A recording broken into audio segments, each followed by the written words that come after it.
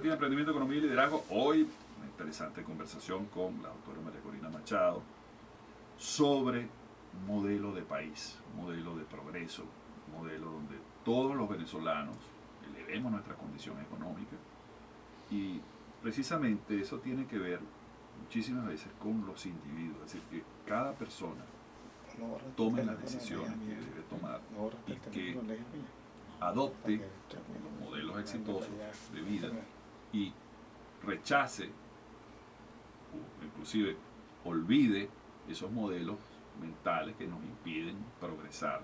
¿Cuál es la visión que tiene María Corina Machado al respecto? Mira, cuando uno ve la historia, Rafael, tú te das cuenta que en nombre de los pobres, de la justicia social, de las grandes sociedades, de la paz mundial, se han cometido los crímenes más horribles. Eh, así llegó el comunismo en Mao, de la experiencia rusa y tantos otros modelos colectivistas. Bueno, aquí mismo lo tenemos en Cuba, que lo que han traído es muerte, violencia, ignorancia, pobreza, porque precisamente le arrebatan al individuo su libertad y su responsabilidad. Y al contrario, cuando tú proyectas al ser humano y le dices, tú tienes derechos, pero también tienes deberes dentro de una eh, sociedad, tú debes creer en ti mismo, confía, avanza, fájate, lucha, progresa, aspira, sueña.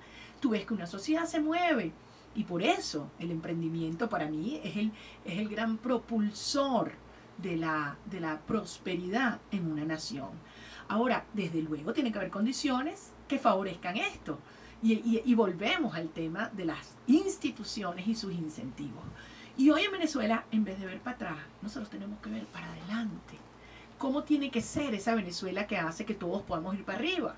Una Venezuela que se abra al mundo, donde que sí creamos en la globalización en términos de que las tecnologías vienen de un lugar para otro, como vienen los capitales, como vienen las personas. Necesitamos atraer para nuestro país gente que sueña, eh, aquellos que se han ido regresen, aquellos que tienen recursos afuera los traigan, porque Venezuela va a estar llena de oportunidades, porque Venezuela va a ser segura, Venezuela va a ser un país eh, predecible, me explico, en el sentido de que tú puedes planificar a largo plazo, porque eso es otro tema. Si tú quieres hacer inversiones, no de otra mañana, tú tienes que tener confianza que no te van a cambiar las reglas de juego. No hay que competir por, eh, digamos, esos recursos financieros mundiales, se compiten, los países compiten por esos recursos y compiten también en atraer turistas o atraer conocimiento, por ejemplo. Tú has tocado dos sectores claves que yo sé que van a ser propulsores del desarrollo en Venezuela. El petróleo, sí, tenemos unas reservas gigantescas.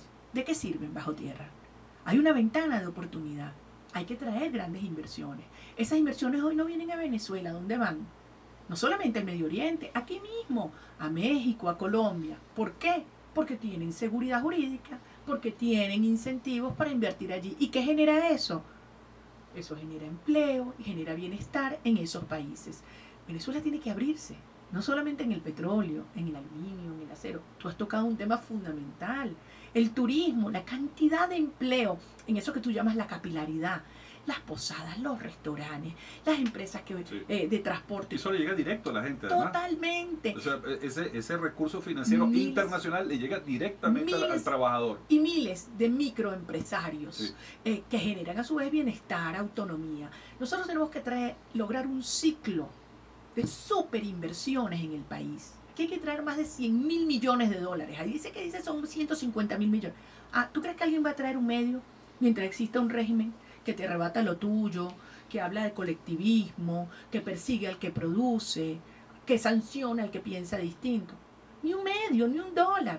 Entonces lo primero que tenemos que hacer es asumir que tienen que haber cambios políticos para construir instituciones que estimulen no solamente grandes inversiones, sino respeto, seguridad jurídica y un punto fundamental, la cooperación y la solidaridad.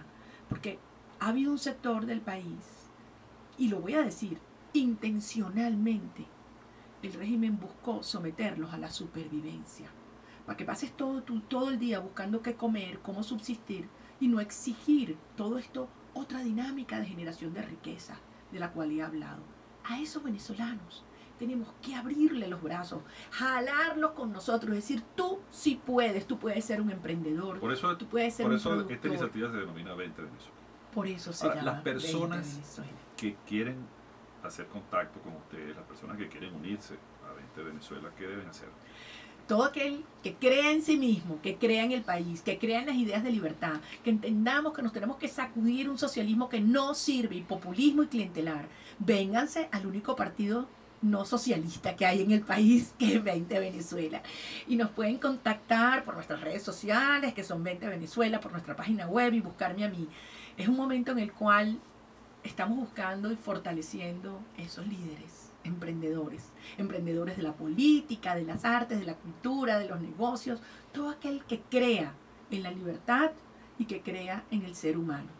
Bueno, muchísimas gracias a doctora María Corina Machado por estar aquí en Gerencia para Todos. Estoy seguro que los emprendedores que nos escuchan en toda nuestra amplia red de radio y televisión y también en nuestras redes sociales va a ser de mucha utilidad esta, esta conversación que hemos tenido hoy. Como siempre, bueno, el programa está abierto a, a tu organización y, a- a- y al debate también, porque vamos a organizar algunos debates sobre estos temas.